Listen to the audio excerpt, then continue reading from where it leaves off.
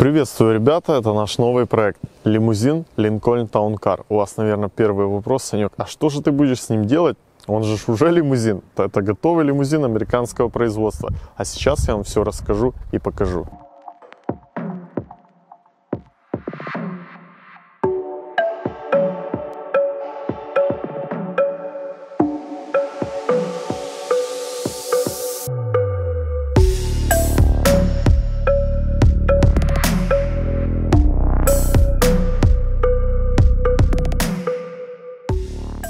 Значит, ребята, заказ у нас такой. С этого прекрасного лимузина, но уже устаревшего, 2001 года сделать красивый папа-мобиль. Ну, так его называют люди, которые видели то, что мы уже делали ранее. Значит, перед у нас будет Excalibur. Если вы знаете, что это, если нет, сейчас я вставлю картинку, и вы посмотрите. Это длинная морда под ретро-стиль на метр 15 у нас передние колеса отводятся вперед. Да, нужно будет раму резать, на метр 15 отводить, э, делать подкрылки, усилители различные. В общем, это очень-очень непростая работа. Значит, в центре самое интересное. В центре вот здесь будет вставка, капсула такая. Будет настоящая карета, ребята, как у Золушки. То есть фигурная, не такая обычная, да, там прямая, как коробки. У нас в нашей стране, в России очень много делали. Э, ну, из-за границы я тоже видел, что делают, э, ну, что-то похожее на кареты. Ну, то реально коробка на колесах. Я по-другому никак не могу назвать, пусть никто не обижается. Мы же сделаем фигурную, выпуклую. И здесь стекла очень такие сложные будут, фигурные. И крыша такая, ну, настоящая Золушкина карета будет. Задок, задок у нас тоже будет в ретро-стиле огромные такие расширители. Ну, по-нормальному нужно проставки на мост ставить. Но кто-то и хочет, кто-то не хочет. Вообще проставки это зло на самом деле. А у Линкольна, если лопает э, полуось, то колесо улетает в сторону. То есть, может быть, мы это мы с клиентом обговорим. Может быть, мы разрежем эту арку, заузим. То есть, ну, если проставочку ставить, то минимальную. А так здесь нужна где-то в районе 8 сантиметров, чтобы более-менее оно выглядело хорошо. Ну и задок тоже под низ. То есть э, муляж запаски будет. Ну, в общем, я думаю, будет прекрасно, ребята. Для этого был куплен Линкольн со вставкой 80 инчей. Но это самый оптимальный вариант по размерам для нашей переделки. То есть, если длиннее взять, да, вставка еще больше будет, ну, это уже огромная карета будет. То есть, ну, она смотреться не будет это же золотая середина. То есть мы такие уже проекты делали, для нас это не впервые. Первый проект мы делали на стареньком Ford Mercury Grand Margios, такая машинка существует. Мы тоже взяли Линкольн, но там вставочка чуть-чуть поменьше была. Ну вот я не знаю, там 65 инчей, сколько, я точно не помню уже. Ну то есть меньше. Мы сделали эту капсулу, а потом одели перед и зад под Excalibur. Конечно, это все очень красиво, но машинка была старая, постоянно ломалась. Ну в общем, и как-то ее не восприняли у нас. То есть люди, где не видели, возле ее просто все фотографировали, все, ах, ох, ничего себе, вот эта красавица. Она, ну, действительно, это вот смотришь на нее, и просто это произведение искусства. Вот все, вот вы говорите, что мы там то, это 6 на 6 сделали, золотые руки, все такое. Но это действительно, вот вы когда посмотрите финиш, когда закончим мой проект, вы просто будете в шоке. Делали второй такой проект, уже чуть-чуть вставка побольше, точно так как здесь действительно вот побольше сама капсула, ну карета, она очень массивно, очень хорошо смотрится.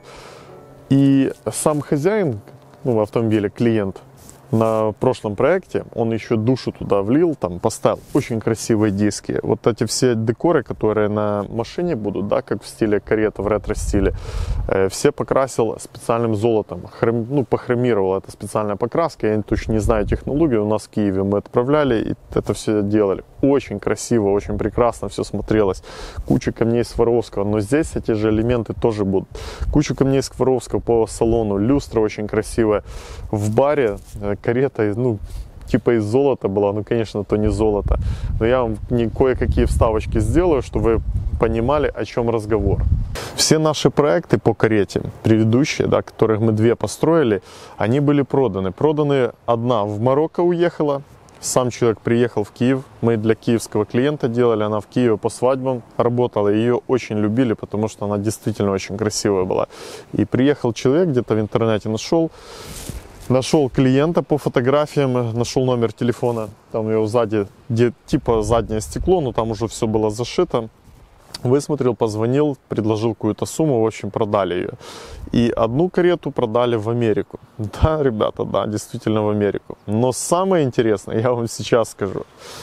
Этот проект тоже для Америки будет. Человек, который имеет собственную фирму по переоборудованию в лимузины, легковые автомобили в лимузины, они увидели тот наш проект, не смогли его повторить и приехали ребята к нам.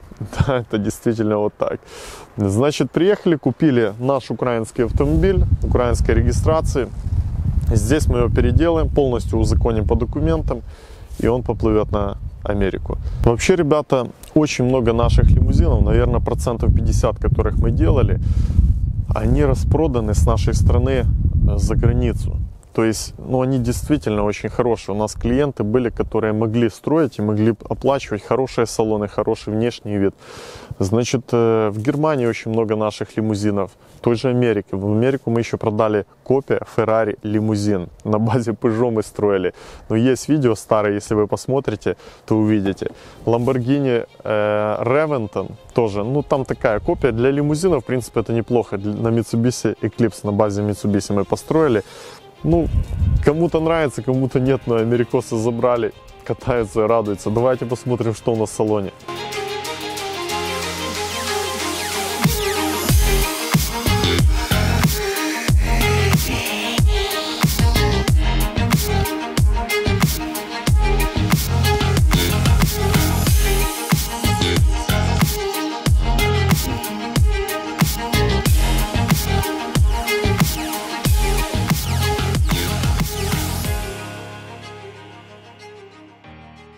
Вот, ребята, наш салон. Он, конечно, очень простой, ну, скажем так, дешевенький, но он очень качественный. Вот 2001 года машина переделалась. В принципе, здесь проблем как бы нету. Все целенькое, все на своих местах. Все как бы открывается, закрывается. Ну, кое-где что подклинивает. Сиденье в хорошем состоянии. Ковролин, он вообще американский ковролин, его вообще нереально заменить. Вот сколько мы делали, мы такого качества здесь в нашей стране даже под заказ, ну нереально его привезти. Он неубиваемый. Вот эти все детали у них уже из стеклопластика, то есть фирма, которая массово их делала, клепала на весь мир, оно все очень достойно ходит. Но, конечно, оно вообще некрасиво. Мне американские лимузины некоторых фирм, они мне нравятся, но только по качеству изготовления, ну, что оно действительно работает годами и не отваливается. А есть фирмы, которые, ну, и криво и понаружи, и внутри точно так и, в принципе, в любых странах. И в России когда-то их очень много делали боком, косо, раком. И точно так и у нас, ну, какие-то были конторы, которые сейчас позагибались уже. Тоже косо, раком, боком. То есть, ну так, знаете, вот как вы мне писали в комментариях, что лишь бы денег сорвать. Значит, салон у нас полностью весь разбирается. Мы все полностью отсюда вытаскиваем, вплоть до того, что и задние сиденья, боковые карты, двери полностью у нас завариваются. Остается у нас э, только передняя часть, неизменная. И все, мы полностью с нуля, ребята, делаем. С чего мы начнем? Конечно же, в первую очередь мы начнем изготовление передней части. Это будет стеклопластик усиленное, там очень много слоев, но должно быть очень мощное, потому что сами детали, они как усилители идут. Значит, передних два огромнейших крыла, капот, и начнем решетку делать. То есть нам машина для этого не нужна. Начнем решетку, она с нержавейки, передний бампер будет с нержавейки и коллектора по бокам, которые я фотографии вам покажу, тоже это все с нержавейки. Если его с чего-то другого сделать, ну это будет посмешище. Значит, по передку я даю в работу нашим ребятам, это все делается. Оно не, ну, как бы долго делается, потому что очень большие детали, сейчас еще холодно, зима как бы. Ну а мы загоним в бокс и полностью начнем разборку. Полностью крышу сдираем, эти все кожзамы, стекла вытаскиваем, все молдинги, салон полностью под ноль разбираем и начнем изготовление кареты.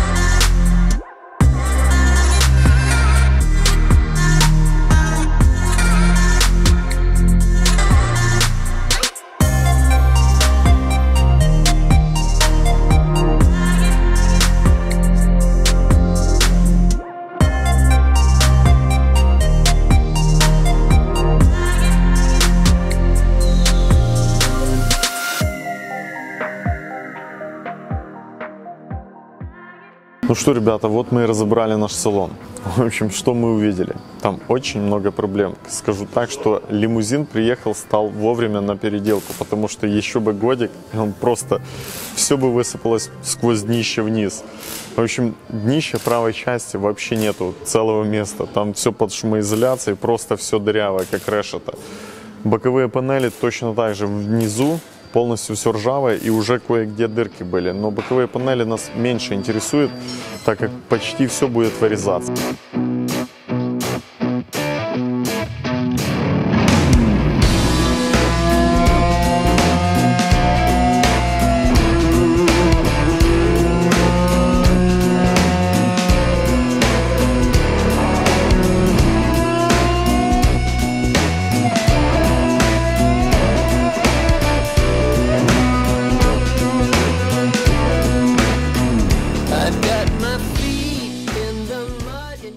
Вот, ребята, наше днище. Значит, это правая сторона, она, короче, полностью вся в хламе. Живого места реально нету. Это все под шумкой, она постоянно была мокрая, и за это все время, ну, короче, прогнила. Но для нас это не проблема, от начала до конца вырежем, новый металл варим, ну и проблем не будет. А у вас, наверное, вопрос, Саня, а объясни, почему же оно сгнило? Неужели это американские машины так плохо делают? Я вам скажу так, что это проблема подтекания боковых стекол именно на вставке. Там на резиновом уплотнителе почему-то они вставляют, хотя уже следующие, более новые модели, Линкольны и Крейслера, они уже вклеивают стекла, но вроде бы таких проблем нету. Но часто в лимузинах такие проблемы встречаются, что через боковые стекла затекает вода в салон. И люк, люк, запомните, ребята, люк в крыше, если это не заводской автомобиль, а лимузин уже, то же самое, через люк затекает, потому что все водостоки нарушены, где-то вода застаивается, потом капает это все в салон. Ну и, в общем, мы видим, какие проблемы после этого.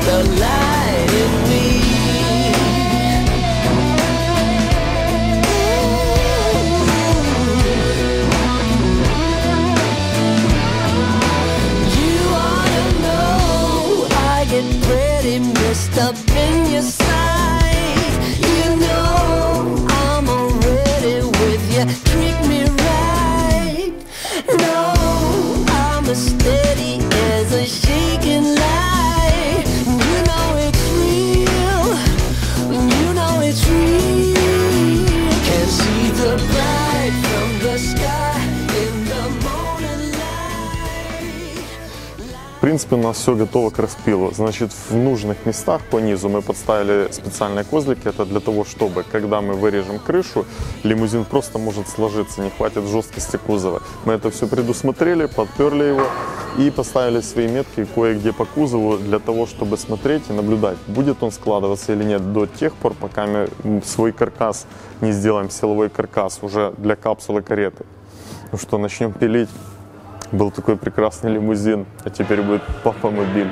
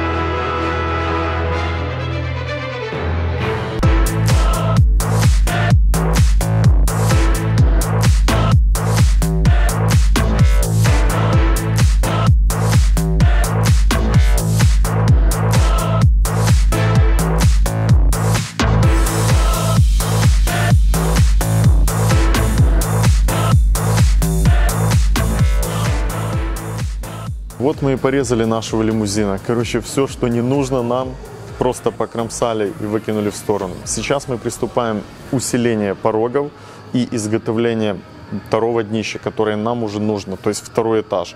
Оно будет полностью ровное, без туннеля под кардан. Ну, в карете нам не нужен этот горб. А первый этаж, первое днище, да, которое мы отремонтировали, мы полностью загрунтовали, вскрыли битумом для того, чтобы оно уже в дальнейшем не гнило, потому что доступа туда вниз уже не будет.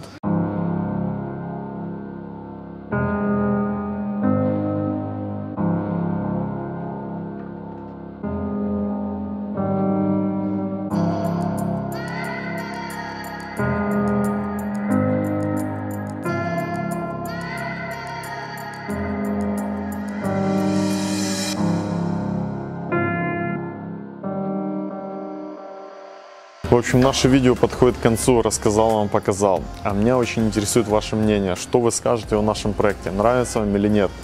Наш папа-мобиль, скажем так. Интересная ли эта затея?